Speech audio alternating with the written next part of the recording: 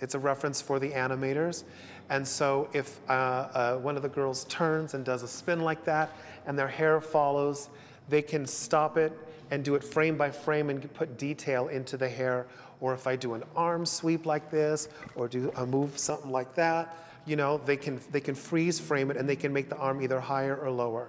It's, it's just a, a, a nice reference for the animators.